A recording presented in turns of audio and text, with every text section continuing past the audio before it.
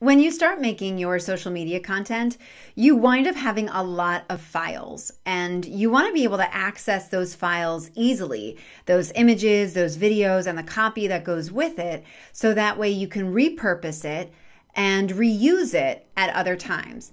And so you want to make sure you have a really good system for doing that. I've tried a bunch of different systems. This one isn't foolproof. Everyone has their own way that works well with their team and their company and whatever software they're using and stuff like that. But this is really simple, really free. I've used this with different um, kinds of. I've, I've done this with different kinds of companies, small businesses, bigger businesses, with a team of people, all of that kind of stuff. And this has worked really, really well. I do also just want to say a quick thing, which is I highly, highly, highly recommend that you create your content in batches. So sit down one day and make a bunch of different social media posts and schedule them. Um, when we do content strategy stuff, I explain to you what kind of posts to make. Um, and what formats they should be they should be in uh, depending on the platform and depending on your audience and all of that kind of stuff we're not going to get into that but i am just going to highly recommend that in in lieu of saying oh well i'll just kind of do it a little bit every day and i'll just like post something that day that is going to work for a very finite amount of time but eventually Life is going to catch up to you. You're going to get really busy. Something is going to happen. You know, a global pandemic. Things happen. And so you want to have a good bank of content that you can rely on that is either scheduled to go out already between, you know, Facebook's content creator scheduler, which allows you to schedule posts for Facebook pages, Facebook groups, and Instagram or you can use a tool like Hootsuite or Buffer or my favorite, MeetEdgar. But whatever it is, you're still going to need to have all those files readily available. So here's the system that I have found that works really, really well. So I'm going to um, show you my screen. Okay, so this is just a Google Drive, right? So you could use a free Google Drive if you're using Google with your uh, with your domain name and like a Google Workspace kind of a situation. Either way. But um, so I have the name of the brand that I'm like the project that I'm creating the content for here. And then here's a little trick that I read about in a book a long time ago, which is to whatever you need to get to fast.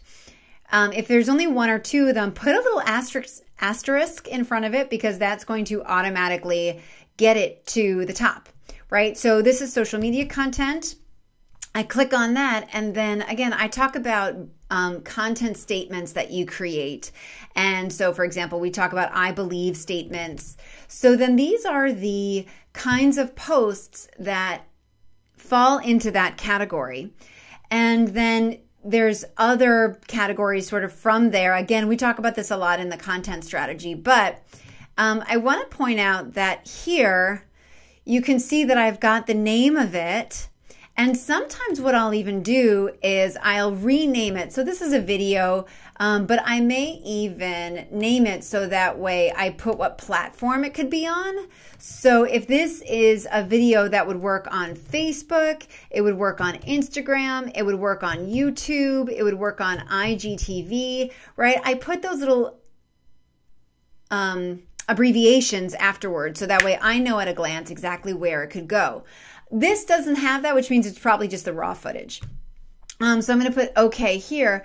Then what I really like to do is to use the copy here and um, where it says to add a description, I'll type in what the copy is that I've used for that social media post or that I want to use for that social media post. So that way it's always easier. So, um, what do you think is the difference between good and great marketing because that's what this video is about. Um, here are three uh, observations I've made. Okay. Um, and maybe I might put an emoji in there. So I'm going to add an emoji just with the number three. Oh, there it is already. Boom. And so now that is saved. So that way, when I go to access that file, I've got it right there. Hopefully, this will be easy for you. You can also then, of course, share the folder with other people who are on your team. If you need to get approvals from people, you can get approvals from people. Um, you can even put the hashtags in the description there if you're using it for Instagram or another platform where you're going to want to copy and paste the hashtags as well. So all of that you have there. So when it's time to actually schedule those posts, your or or just to um, to post them up, you've already got the copy and you have the file. You've got the file named. It's really easy for you to find in the future.